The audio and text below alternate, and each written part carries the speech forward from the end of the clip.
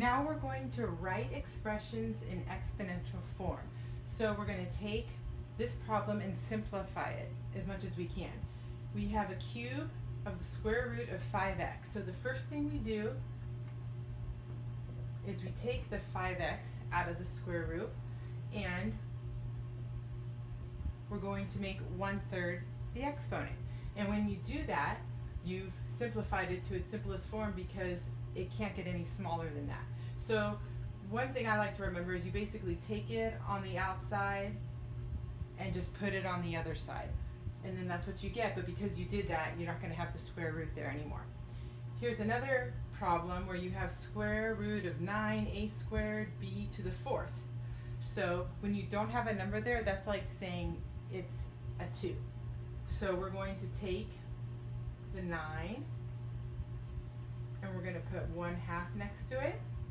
And then we're going to take a and we're going to put the 2 next to that and then the b to the fourth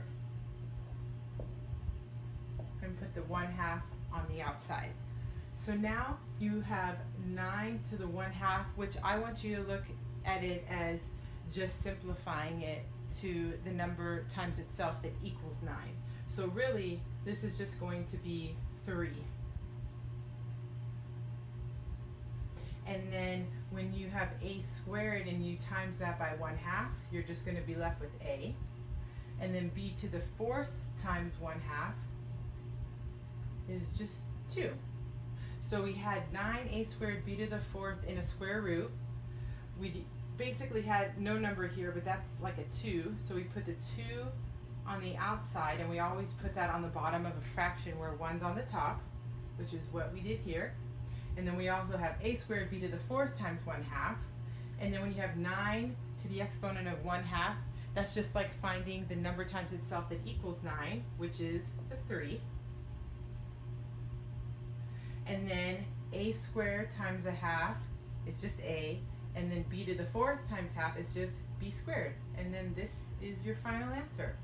So you always think like we have a number here, and we're going to take it out of the square root, and we're going to put it on the other side, and we're going to put it in a fraction. And we're going to put 1 on top of that fraction. And then we're going to multiply everything by that fraction and get it to its simplest form.